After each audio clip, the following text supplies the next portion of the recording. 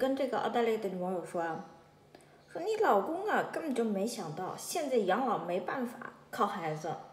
你看啊，这个视频，娟姐把这个视频有一个视频给他。我这视频里说的叫什么呢？老了有钱才有尊严啊，就是说，而且呢，你老的时候，就是孩子不仅不能养老，而且是消耗你养老资源的。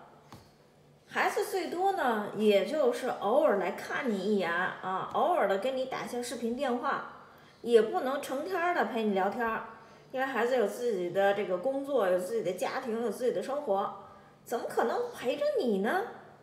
啊，而且呢，你能给孩子提供什么呢？人和人之间不都是趋利的吗？你的孩子也不也不例外。你养孩子，你只能说 enjoy 你养孩子这个过程啊，但是呢，你指望着孩子养老，那是不不现实的，尤其是在这个城市生活里，啊，在未来的这个工业时代、资本社会里，你的孩子都要被资本家剥削，你又不掌握生产资源，你又不掌握生产工具。你怎么剥削你的孩子呢？你的孩子凭什么要啊围着你转呢？你的孩子不给你打工，你不是你孩子的老板，不再像农村那样啊，每个农民啊都是他孩子的这个老板，他掌握着土地啊，他掌握着这个生产工具，掌握着农具，所以呢，他可以自由的支配，说我要给哪个孩子多少资源啊。为什么农村这么重男轻女呢？农村重男轻女是因为。对农民有利益，城市里你重男轻女，对你是没有任何的利益。希望啊，广大的这个中年女朋友、这个女网友们听一下啊，跟你们讲，如果说你们重男轻女，对你们来说没有任何的利益，你们只是把过去的农逼文化 植根于，这就是你们脑子里的大粪，你们要把脑子里大粪挖一挖！你们重男轻女，对你们毫无利益可言啊！你的利益着眼点在哪儿呢？你这儿子是能给你提供养老资金呢，还是能给你提供这个养老服务呢？你们去医院看一下，医院里哪个这个老人不是说让自己的女儿伺候的？有一有一个两个可让儿子伺候的吗？啊，真的有的话，可能是农村过来的啊，农村来的，而且呢。儿子呢，还有可能对病床上的这个老爹老妈啊是呼呼喝喝啊，连打带骂，嫌弃的要死。那你活该呀！你把你儿子养成这样，要不你就对不起他，要么就把他惯坏了，无非就这两样是吧？要不呢，你就啊偏心，你没有好好善待他，那还能是什么呢？所以呢，曲姐就跟。这个用这个视频啊，跟这个网友说，我说你老公啊，现在啊，他还带着浓逼的那种繁殖的执念，是多么傻逼啊！然后这个网友说，我老公啊，还是见识太少了啊！你说我脑子里有很有很多大粪，他脑子里大分是我的几倍。就前几天啊，英国女王驾崩那事儿，我在家说她老妖精老不死的，结果我老公啊制止我说，你的嘴怎么就那么狠？人家招你惹你了吗？你骂人家干嘛？我就说，我每年扣那么多税，不就是因为这些蛀虫的存在吗？怎么对我没影响？你和你妈一样，跟你跟你爸一样，奴性十足，就差给这个英国女王哭丧了。我说啊，有网友说的好。日不落帝国对这个世界所犯的罪行罄竹难书，英国女王就是一个既得利益的卫道者。中国的好多文物陈列在大英帝国博物馆，有什么好悼念的？然后呢，我老公就认为，那既然全社会都尊重英国王室，我们普通人就不要做出头鸟，表示不尊重。人家好歹是个女王。我说可去你们的吧！中国的慈禧跟你都没有半毛钱关系，更别说。人家白皮的日不落帝国的老慈禧了啊！我们中国人脑袋里啊装了太多大粪了，盲从而不自知。然后我 曲姐就说啊，我说你老公啊真是有农民的奴性而不自知。然后这网友又说呀，啊之前华为那个叫孟什么着啊，孟晚舟，嗯，脚上带着脚镣的那个脚铐的那个。国内一窝蜂的人啊，这个称她为什么呃长长公主啊？你说恶心不？狗屁的长公主啊！媒体都报道长公主为国家做了大的牺牲啥的啊！你说这些屁民见不见自己下个月的房租还没着落，还同情起人家的长公主？然后曲姐就说啊，我说你老公啊是看见强权就下跪啊，这就是奴性啊！看见弱势他就鄙夷，说不定还上去踩鸡脚。我说呢。所谓的国家为国家做牺牲什么的，我说咱们国家中国也是个贼啊，那美国就是强盗，美国英国就是强盗，我都不是什么好东西。你不要以为说这个就是二极管思维啊，就是我们中国是正义的，然后美国就是强盗。缺姐想说啊，美国英国都是强盗，中国是个贼。我说你老公啊，就是崇拜人家，就是能继承财富和权利而已。啊，中国人都这样，中国人这个劣根性不都这样吗？我说，所以我不让你夸这个富二代。我说，要是你呀，就这对这个网友说，我说，要是你生在那样的家庭，你比富二代牛逼多了。真的，这个网友有非常。强大的啊，这种这种意志力来克服逆境，他在逆境中求生存是不折不挠、百折不回的，他是非常的啊有这个能力的，而且呢为人呢他是质朴的，是真诚的，而且就就有他这种品性的这个这种这个女孩子，如果她要生在富二代家庭，那可不得了。我说这些富二代，我说他妈逼的凭啥呢？啊，也不过就是基因的偶然性。我说，然后呢，去就问啊，你你妈你老公啊，然后说那个跟你父母一样啊，说那你公婆的奴性是什么呢？他说那我也不知道他们奴性是什么啊，反正有这样的儿子，父母有肯定有过之而不及啊。我每次骂我老公的时候，他脸皮死厚死厚的啊，所以连着他父母一起骂，他才会有所触动。然后学姐说啊，他这就是啊，这个中华的敬老文化在作祟啊，殊不知啊，这世界上绝大多数的老年人都不值得尊重。学姐跟你讲，你们这你们就挨个数哪个老年人啊，脑子里不装了一脑子屎？老年人啊，往往就自动的学会了倚老卖老那一套啊，也往往的掌握了社会资源和权利。你看看日本的。日本的那个像这个，这个这些这个老不死的吗？他们把握了多少的权利和资源，不让年轻人活呀？他们就是压迫年轻人，而挥舞着小鞭子驱赶着年轻人给自己拉磨当驴啊，作威作福。他们既压迫女性，也压迫男性。然后呢，这个。学姐，我跟他说啊，我说我呢揍我老我这个公公啊，我是因为这个公公这个老不死，给脸不要脸，还总想压迫我这个儿媳妇。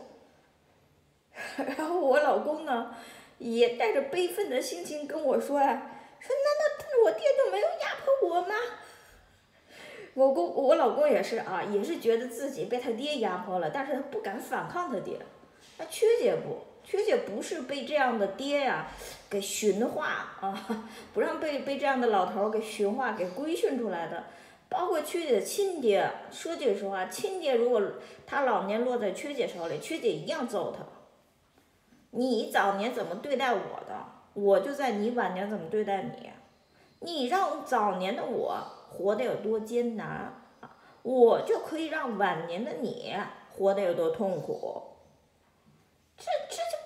很公平的吗？啊！我说你老公啊，这个其实还对这个网友说，你老公这脑子里的中华文化给他装的屎也是很多啊，盲目的敬老啊，加盲从从众啊，加上崇拜权力。他说是的，这就是大粪。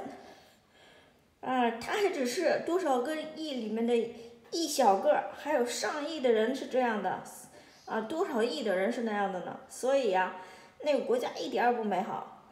那缺姐说啊，我说为什么这个男人那么想生孩子呢？第一，压迫孩子，那不就是吗？老人压迫年轻人嘛，是吧？第二，不用自己冒死生。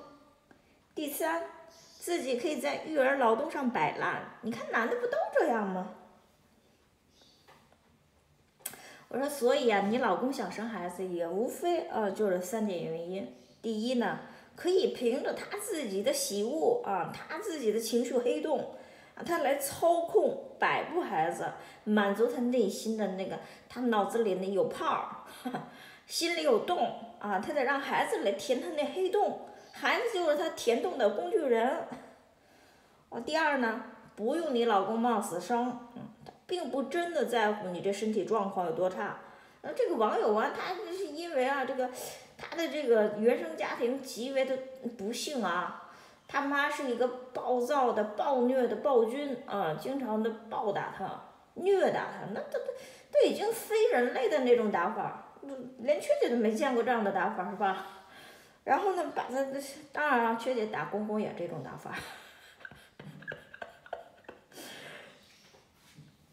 这个，咱说我说啊，就是你身体状况这么差，你有抑郁症啊，又有这个颞指关节紊乱，然后晚上还经常的做噩梦，我就你这种身体状况，你怎么能怀孕生孩子呢？啊，我说你呢，经常还要有这个自杀的念头，看见大卡车就想撞人家去。我说那你这种状况，就不适合生孩子，他心里并不在乎你的。他反正他就觉得你就欠他一个两个孩子啊，谁让你是女的，你活该呢，你就活该去送死。第三呢，你以为他这样的人啊，能不糊弄和逃避育儿劳动吗？啊，男人在育儿上是既不操心也不费力啊，但是收割养老成果的时候毫不含糊。我说你可不要看着啊，就是那个阿豆，阿豆是个女博士后。他的小伙伴，嗯，他说你可不要看着阿豆啊说这个养孩子轻松，带孩子轻松。他说的轻松那是相对于他的科研难度，他是做博士的是吧？他就想洗洗脑子啊，他也习惯了这个她老公呢偶尔呢跟孩子玩一玩啊，平时呢偷懒儿，就这种育儿劳动分配啊，她她就她和她老公都来自农村，她就习惯了这种育儿劳动的分配。他觉得就天经地义哈，他不觉得他没有意识到这是不公平的，所以他就仍然啊，他觉得还很开心。哎呦，我终于不用搞科研了，哎呦，我终于可以陪孩子玩了。而且呢，所谓他要体验一下当妈的快感，当妈的这个经历啊，但是没有考虑到孩子。这个孩子有没有希望降临在你们这对夫妻的这个家庭里啊？本来她和她老公啊关系不是很好，有的时候又打又骂的啊，有的时候还这个互相的把对方啊扔下车什么的。高速公路上啊，这这这这你给我滚下去，这都滚下去。这种这这这种缺姐就想说呀，如果说你和你的老公关系没有达到。默契十足的程度，你都不要生孩子。如果你和老公都都没有就育儿劳动分配上好好讨论，要给孩子做一个什么样的人生规划啊？怎么样的就是说分配育儿劳动啊？你们两个都满意。你如果说你们都没谈论过，没有对孩子负责的这个态度，你们就不要生孩子，不要祸害孩子。孩子是无辜的，说句实话，每一个孩子。他都是一张白纸，他都是无罪的，但是你们大人，你们大人往往是有罪的，所以你就觉得不能给孩子一个特别好的一个人生的话，那你就不要生，是吧？而且生了也不要求什么回报，你不要像某公公似的，老年的时候缠着儿子。就跟他妈吸血鬼一样啊，就跟拴在他儿子裤腰带一样，就这种啊，就是磨人精啊！你说缺姐就真的是忍无可忍的就就要揍他了。出门两个小时，他能给你打二十几个电话，就三句话：你们在哪儿？你们在干嘛？你们什么时候回家？就这三句话。每个电话都是这么打来，每个电话都是这么问。你说这烦人不烦人呢？谁都得围着他转。他浑身恶臭，从头到尾都恶臭。你让他去洗澡，他不洗的。他说我闻不到，我闻不到就不臭。你说我臭，你就是骗我。你看这种，你怎么能跟他说人话呢？他听不进人话的。你说你怎么能跟他沟通？他艺术化就是尸臭，就高度腐败的尸臭，就尸体腐败了那种高度的尸臭。然后呢，他还故意的把这个臭嘴啊，离你很近地方哈气儿，他觉得他自己好可爱。你看我可爱不可爱？你说这种啊，认知严重的这个失失真的这么一个老傻逼，你说你怎么办他？你不揍他你怎么办？他还觉得自己可爱啊，这这种。极度自恋、有自恋型人格障碍的这种人，你跟他说什么，他油盐不进的。除了你揍他，你揍他，他怕啊，他都都哭了，他都大小便失禁了，被我揍的。哭着，哎呀，又带着那又哭，连哭带嚎的啊，要找要什么报警，我要找邻居。他拿这个来威胁缺姐，嗯。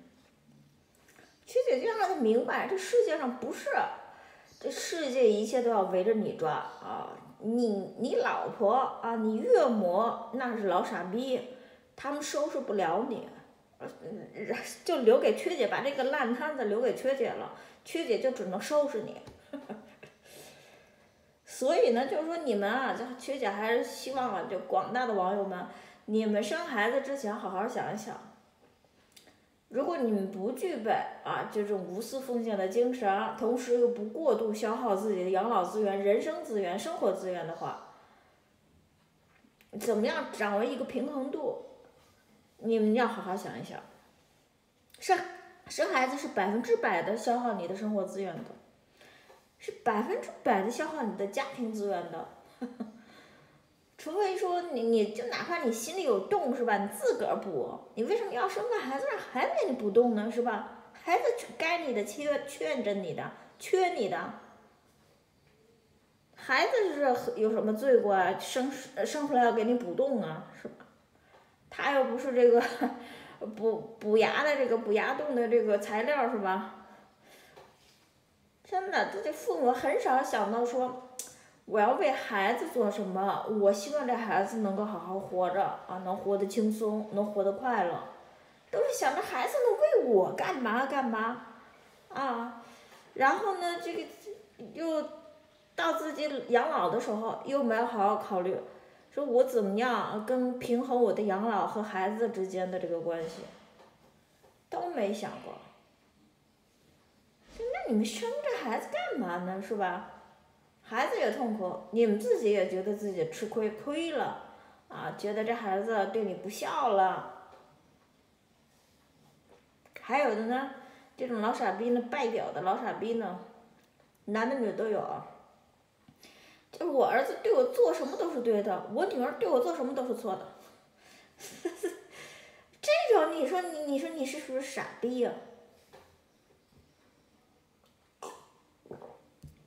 真的，这种老傻逼，你就赶紧的嘎嘣死了得了，活着多余，真的，你活着是浪费空气，你是污染这个地球，你死了都是污染地球的，除非把你气化，把你用几千度的高温把你气化，这样的你你才这是你才是啊这个死得其所，真的，就就这种老傻逼就完全的不讲道理了。